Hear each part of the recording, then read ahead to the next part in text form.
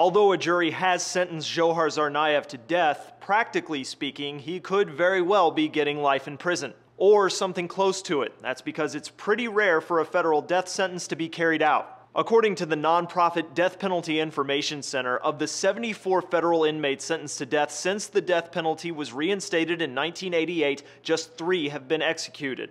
Oklahoma City bomber Timothy McVeigh eventually gave up on his appeals and was executed in 2001. So was drug trafficker Juan Raul Garza that same year and convicted rapist and murderer Louis Jones in 2003. Of the remaining 71 defendants, some had their cases vacated and some died in prison. Others are appealing their sentences. And that's the next step for Tsarnaev, whose father told ABC after the sentencing, We will fight until the end.